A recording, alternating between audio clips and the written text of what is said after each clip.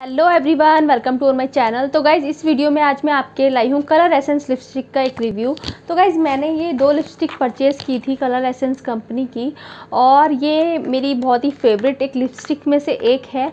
आ, मैंने आई I think दो ढाई साल दो ढाई साल पहले एक लिपस्टिक ख़रीदी थी कलर एसेंस की जो रेड लुक में थी कुछ ऐसी और वो लिपस्टिक मेरी इतनी फेवरेट बन गई थी कि जहाँ भी मैं जाती थी शादी में या कहीं बाहर अच्छे ओकेज़न पर उस लिपस्टिक को हमेशा यूज़ करती थी। तो अभी फ़िलहाल क्या हुआ कि अभी पंद्रह बीस दिन पहले मेरी वो लिपस्टिक टूट गई और ख़त्म भी हो रही थी। तो मैंने फिर ये लिपस्टिक ख़रीदने की तो मैंने एक साथ दो लिपस्टिक ख़रीद ली।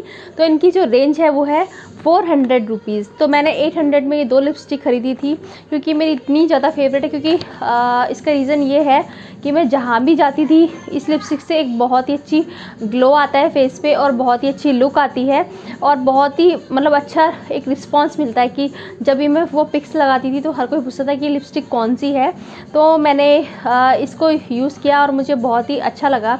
बट मैंने अभी फ़िलहाल ये लिपस्टिक ख़रीदी तो ये कुछ नई पैकेजिंग में पहले ये ऐसी पैकेजिंग में नहीं आती थी तो अभी ये आ, कुछ महीनों से ये ऐसी आ, पैकेजिंग में आने लग गई है और इसके साथ ये एक लिपस्टिक और फ्री मिलती है आपको कलर एसेंस की ये वाली तो ये जो लिपस्टिक है गाइज़ मैंने यूज़ की तो रियली में मुझे बहुत, मैं बहुत ही अपसेट हुई, मुझे बहुत बुरा लगा क्योंकि इस लिपस्टिक से मुझे बहुत ही ज़्यादा उम्मीद थी क्योंकि हर जगह जाओ, जहाँ भी जाओ कमेंट्स मिलती थी कि बहुत अच्छे लग रहे हो, ये, वो। बट अब इस लिपस्टिक से वो मैटी लुक नहीं आती है इससे मैटी लुक आती थी पहले।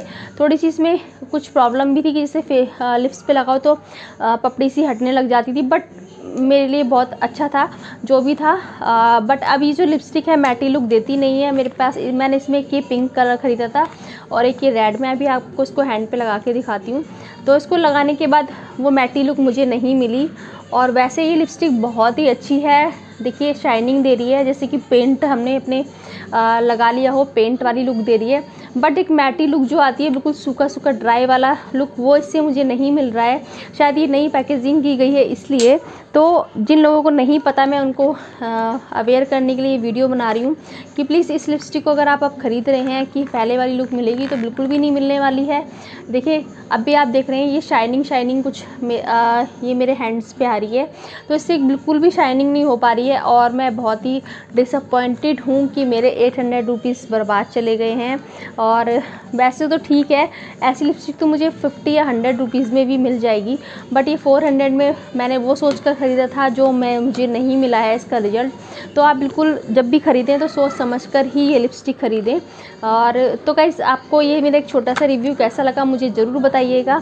Thank you so much bye